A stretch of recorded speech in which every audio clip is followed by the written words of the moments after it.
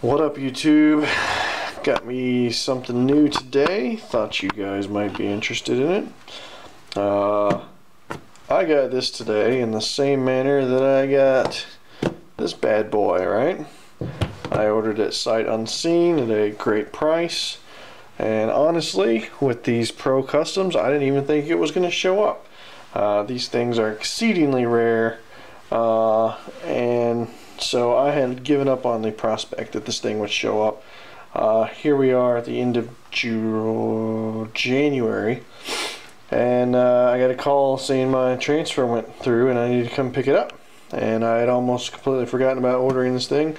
Uh, my credit card was charged, so that was uh, that was fun to explain. But um, I went and picked it up today. I've put approximately 10 rounds down this thing. But I wanted to give you all my initial impressions of the Para USA uh, Pro Custom 40, uh, I guess P1640, uh, P4016. So, first things first, how can I always say that? First things first, this is the box it came in, and you'll notice uh, as different from my other Para uh, box that I got. That one, this one came in a very nice green box. I'll have to dig it out if you're really interested, but go watch that video. It was really long, and the whole first half of that movie, video is looking at the box. So let's get right to it. Um, cardboard box. Alright, that was my initial impression of this thing, and I was a little disappointed, but I did not care as soon as I saw this thing. Holy shit, this thing is awesome. Um, it came wrapped up in plastic. Took that thing off just as soon as I could. I didn't really care what the box else looked like. Uh, and uh, started to uh, mess around with this thing. I, I took it immediately to the range basically uh, and put 10 rounds down it, 5 in each mag before having oiled it or anything. So this is what we're going to look at today. Um, let's finish up with a box here you get your instruction manual, you get your lock, and you get uh, two mags with the base plates that work for the mag well that comes on the thing. That's great news. Uh, one thing to mention, these don't look like new mags, right? I don't know why. That one's pretty, that one's already got a little bit of a uh, nasty, not gouge, but it's a scratch on the finish. Nothing that I'm not going to put on it myself, but it's not something you want to just open up a box of a very expensive pistol to and find. Um, this one's got the same thing. I don't I don't know if they're tested or if they're refurbs or what.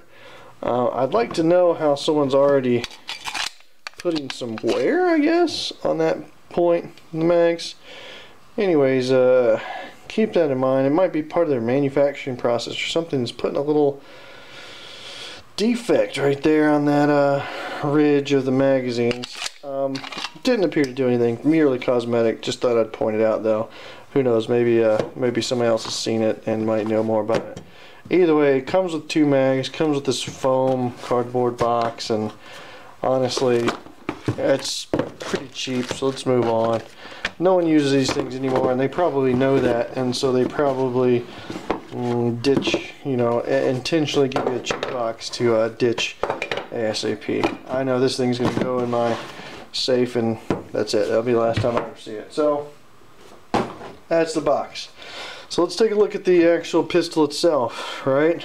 Uh, first off the finish on this is what an ion something? I'll have to look that up and post the um, post the exact name of it. Uh, it is sharp. This thing is like blacked out everywhere. No color.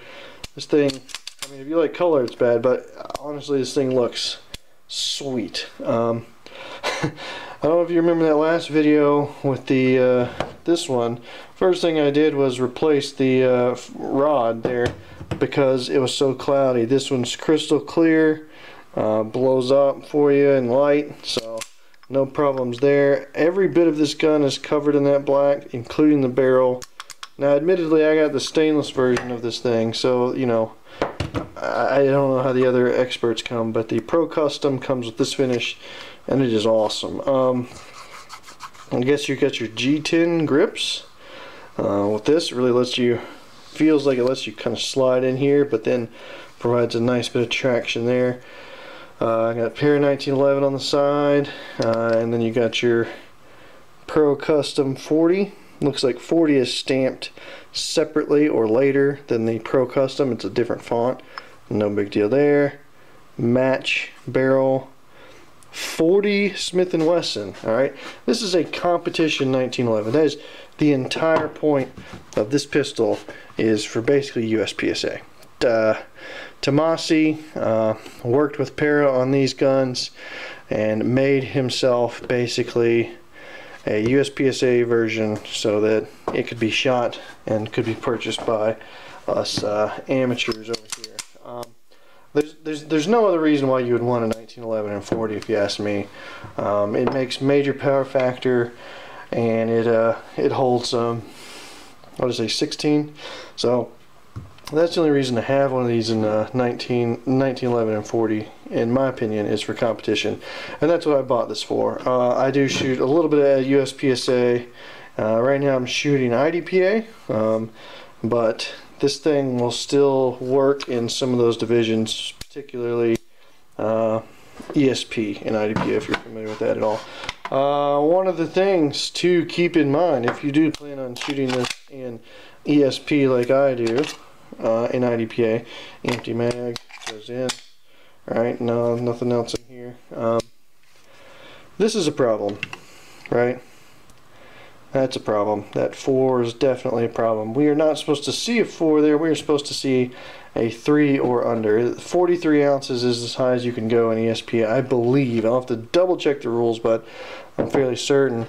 Uh, when we were dealing with this one, you know, I said, my other videos, I said I would check that out this comes in well and I think it comes in exactly at, at uh, 40 ounces. I'll just put that in as sort of a placeholder. I mean you you see we got we got room there. Even with the extended back plates. So probably I think what's going to happen is if you plan on shooting this for IDPA um, I don't think the magwell is going to fit in the box anyways. So you're probably going to be dropping the magwell, and I think if you drop the magwell, you're going to get underweight. Um, you might be able to replace the magwell with some sort of polymer or plastic or some some other material. I'm not certain what this material is, um, but you know we can we can work with that a little bit. We can get this in the ESP, and I, that's what I plan on doing with it uh, whenever it is that I plan on shooting it. Um, that's currently not the plan uh, to shoot it particularly anytime soon. Uh, as we have uh, seen in other videos, I'm I'm shooting this for at least the next six months or so. The uh, Glock 41 uh, Gen 4 and CDP. So this, even though it is a 1911, will not be eligible for the CDP division because it is not a true 45. Apparently, CDP it's got to be in 45 caliber. Anyways, getting sidetracked. Let's go back into the gun itself. Um, front cocking serrations, Dawson Precision front sight, green fiber optic, Bomar style rear sight with uh, height adjustment and uh, left and right. Um, ambidextrous safeties, right? This is a USPSA gun, so you might have to draw and put it, shoot offhanded. Um, fantastic sight picture. See if you can catch that. Uh, yeah, let's go into that trigger pull, right? One of the things, alright, first off, this is a little better here. I don't know if you remember me constantly complaining about this trigger. And I do feel like this one is looser. Maybe a little bit. Uh, seems to be tightened up a little bit here, but not significantly so. You still got a big gap there, or you got a big gap there. You're not, still the same trigger. It does have the over travel adjustment in there, and this thing is tuned up perfectly already. Watch this.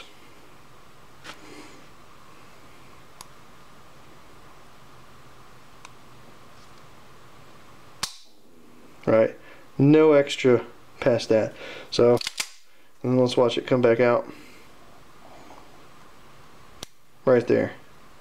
So, that's about the pre-travel you get and then basically no over travel so the trigger is quite nice even though it's got a little slop in it I will still probably be going for one of these triggers which has no up or down movement um, so grips are fantastic. Safeties are fantastic. Hammer looks great. It's got this notch in there.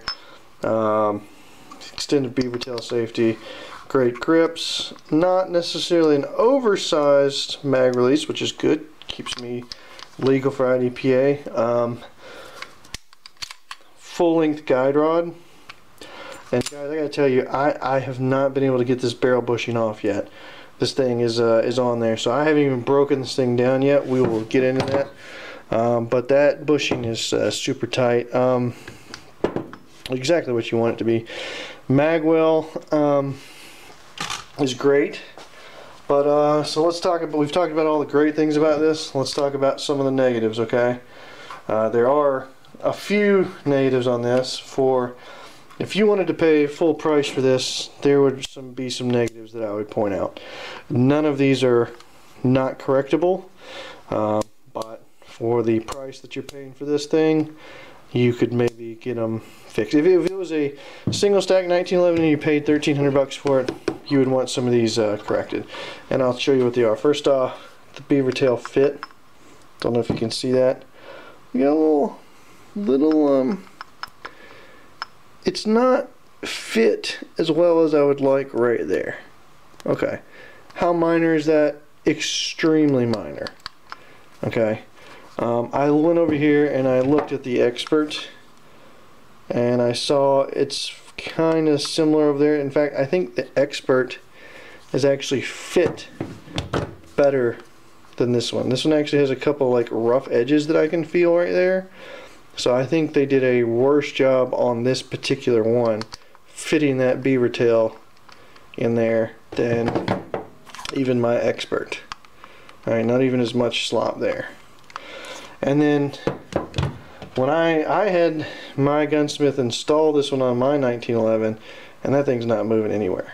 Alright, he when he put that beaver tail on this, he was grinding and he did a phenomenal job.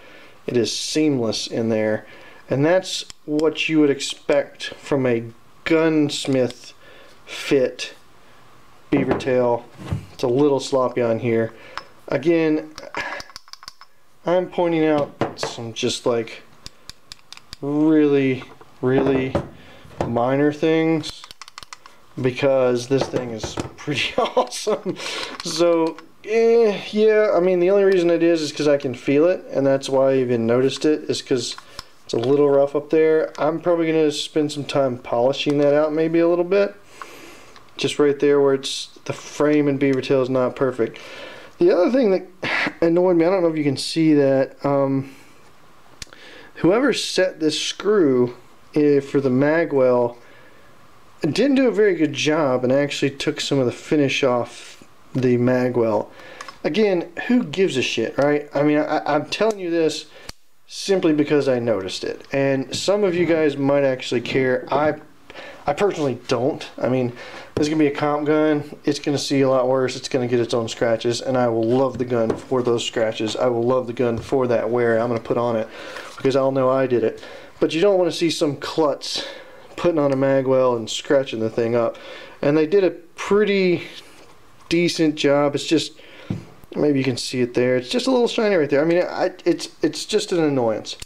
But other than that, guys, I mean, this thing, oh, it feels good. It's uh, it's got the front checkering right there. I forgot to mention that. This this one does not. Um, let me tell you, it's it is a beautiful piece.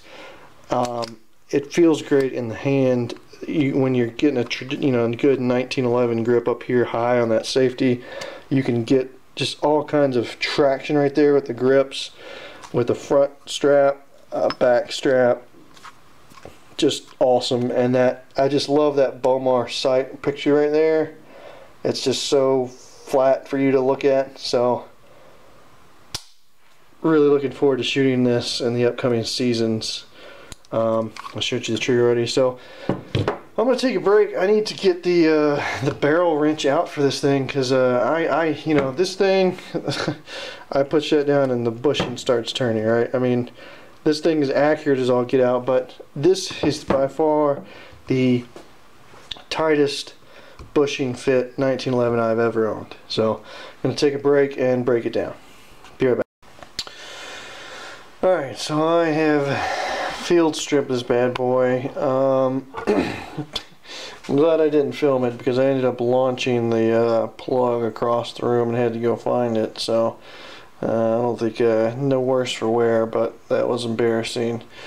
Um, it did require the wrench. Uh, it was pretty tight, not extremely so, but I didn't want to mess with it on using my hand, especially because I would have to push down on these really sharp edges. So got this thing broken down and I was just taking a look at it because this is the first time I actually have broken this thing down. I, I was inspecting the inside of this thing and it is uh, it's nice. Um, the rails are smooth. Um, there's just basically like some minor machining marks where it's just I don't even know how to explain it where it's just you can see where it came across the top right there just right here in the middle uh, but the rails are extremely smooth.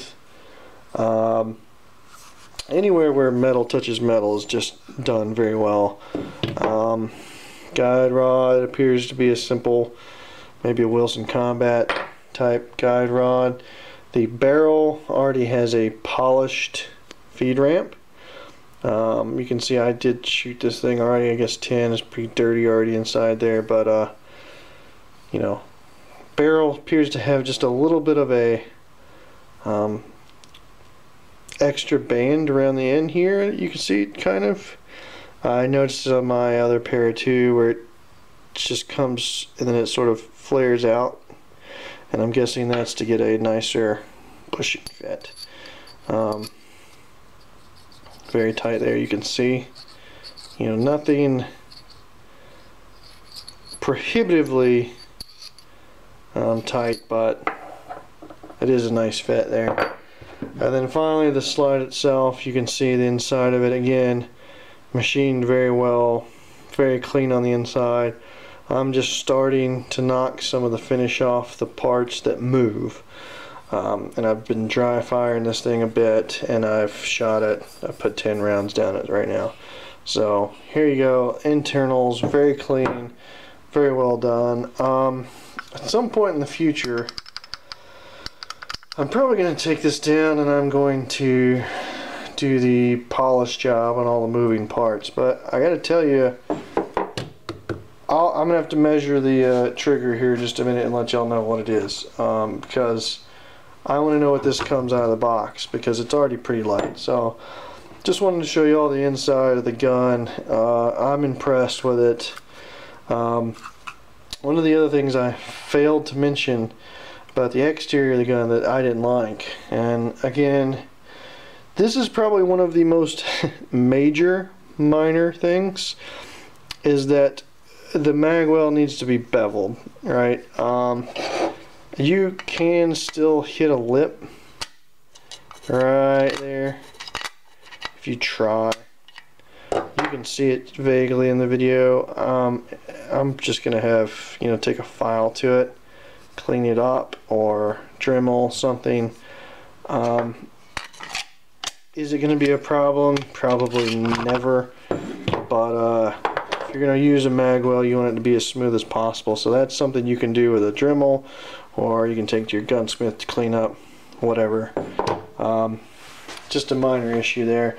It's just because I'm pretty sure they just bolt on these aftermarket uh, magwells and um, they're not fit to frame. They're added to frame so could be use a little bit more cleaning up there um, minor issue. So let me uh, put this thing back together and figure out what the uh, trigger weight is. Be right back.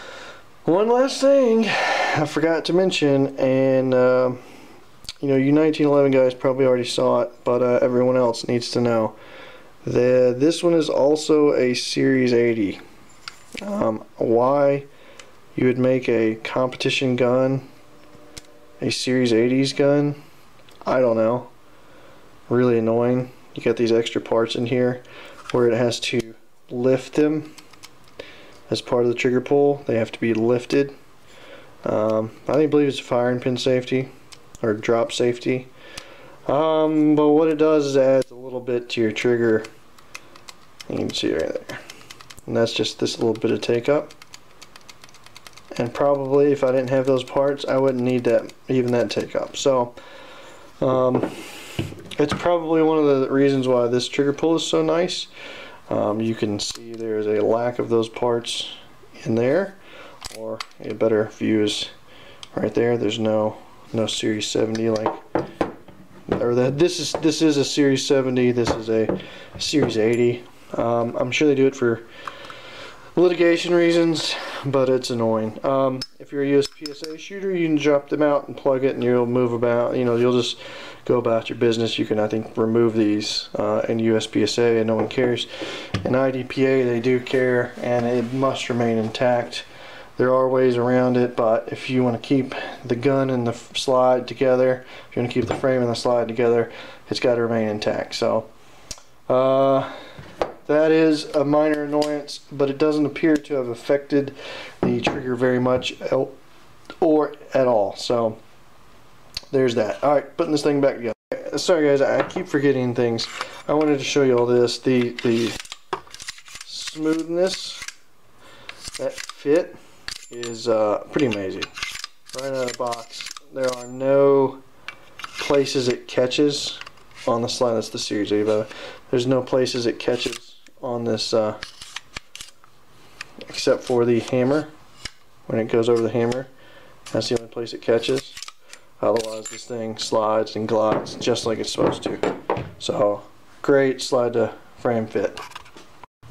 Alright YouTube, I just got done measuring the trigger weight of this thing and I was very very surprised. Um, this thing comes in at over a four and a half pound trigger. Um, I say it's surprising because it feels pretty damn good. Um, it actually feels like a much lighter trigger. I was really surprised when my scale, which only goes up to 72, 72 ounces down there, only goes up to 72 kept going before it would break. So I bet this is like a five pound trigger. I bet it's right there. Um, it's got such a great wall and it's such a great 1911 trigger, which all 1911 triggers, even when they're kind of bad, are pretty great. Um, that it feels like a much lighter trigger. Even though it's probably a five pound trigger, it feels lighter. Um, you just kind of see my my quick measurements there. The uh, after just a polish job, which I did on my own last time on this one, we got the expert down to uh, four and a quarter. So I would imagine if I polish this, I'll get this trigger down to four and a quarter. Uh, the gunsmith uh, did that trigger job and it got it down to three and a quarter. So um, it's probably going to be worth me taking this uh, Pro Custom into the um, gunsmith and getting it professionally done. Uh, right now, it still feels like a pretty dang good trigger. Uh, you get right up there, no hardly any pre-travel, and just it clicks. So out of the box, you're not going to have any trouble shooting this. I can go and tell you. If you do have want a lighter trigger pull, probably all you need to do is polish it. Uh, Nick Taylor's got a great guide on that, and if that's still not good enough for you, you can go the uh, gunsmith route and get even better trigger.